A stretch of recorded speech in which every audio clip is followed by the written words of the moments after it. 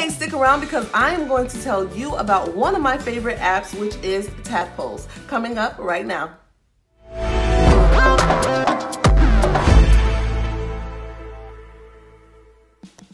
Guys, welcome to Home Child Care Trainers, your YouTube channel for tips, tricks, and training all in the area of caring for children. Here on this channel, we help you to start, grow, and succeed as home child care providers. One of the things that you need as a child care provider is an app that's going to help you to document and share pictures with families. And one of my favorite apps is Tadpoles. Now I'm going to show you a quick overview of the mobile app. This also comes in desktop view. There will be a link at the bottom at the end of the video or you can check the description or the first comment that is pinned where you can watch a more detailed video. But right now I'm going to show you an overview of the Tadpoles app right now. So you're want to select your Tadpoles Pro app. It's going to look like this when you first get there. It'll tell you how many children are in, how many children are out, if your assistant is in, um, any sticky notes that you might want to give to your assistant, and then the pin. Your assistant can click on it, and she'll be able to log in her number, and she will be ch checked in for the day. If you go all the way to the right to start off, looking at the top, all of these people and these children are just for training purposes. So it comes with the app as far as training. If you look at the top at Jane, Melissa, Nicole, and Wanda, these are staff members. Again, people use this for child care centers, but you're going to use it for a home. So you probably only have one or two assistants. They will be there and then they will be here if they're clocked out. They will be here if they're clocked in. That was a simple swipe to the right. Now we're going to swipe to the left and it's back here again.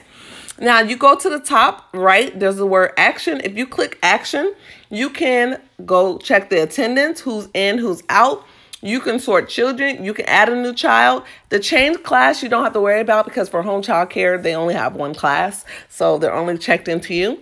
For sorting children, I like to sort by first name. So boom, now you can see Amanda, Cameron, Jacob, everything is alphabetical order.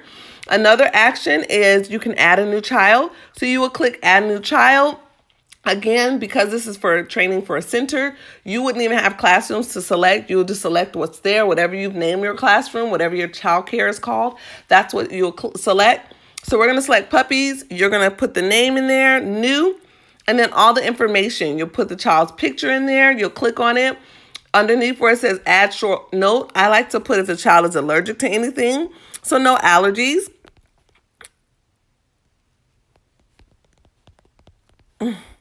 My finger. No allergies. And then on the bottom of that where it says add a detail note, this is where I like to put yes or no to pictures and videos. When children enroll with me on their enrollment form, it states whether they're allowed to have their pictures and videos on social media and for educational purposes. And so all of my parents say yes because they love our videos. So yes, you're going to add contact there. You can add a medical professional information there. Anything that you add in there, it'll um, allow you to call the parents quickly. So definitely put it in there. But to look at what it looks like after you've added them in, we're going to select Miss Cameron Bailey, Bailey, and we're going to go to her profile. So this is it. Special note, learning letters. Samantha is her mom. So here's Samantha's information. If I were to click the green phone, this will pull up her number to allow me to call her automatically, like real quick. Her doctor's information, in case something happens, it's all there. How old she is, says nine years old when she was born. Her stage, now says nine years old, and really she should not be in the infant stage. So she's in school age, so you change to school age. Her classrooms, when she's there, when she was checked in six minutes ago, she's active, all that stuff is there.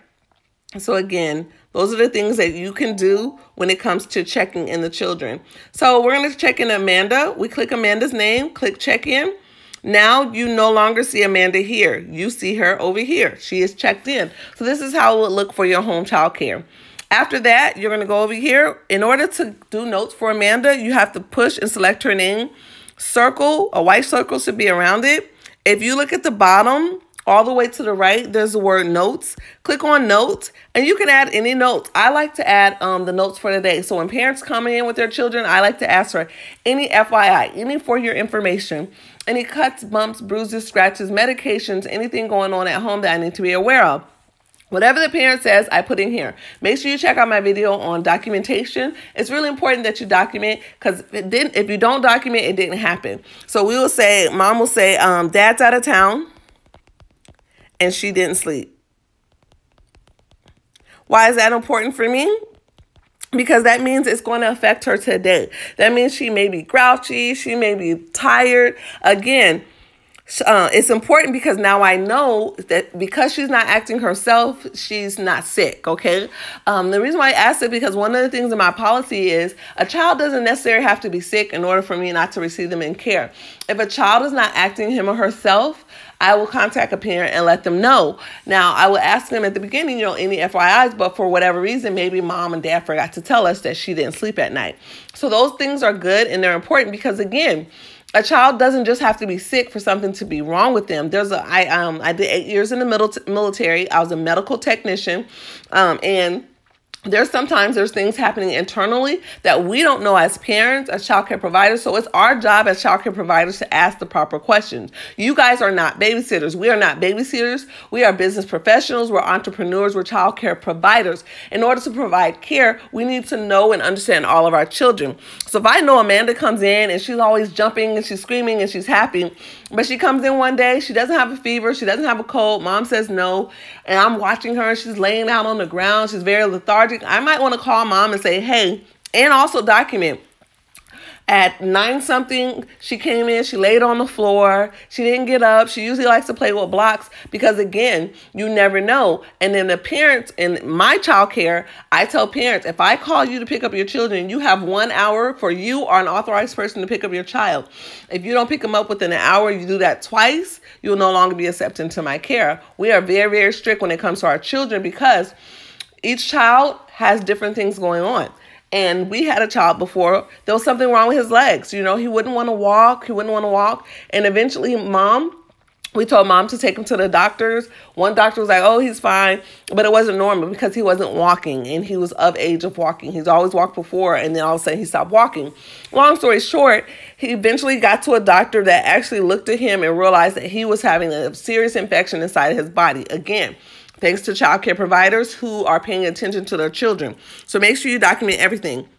Looking at the left bottom, you click on nap. You can start when she had a nap started, when it ended, and you can put that in there. So let's just do it for fun. She started her nap at 11.52 and ended at 12.52.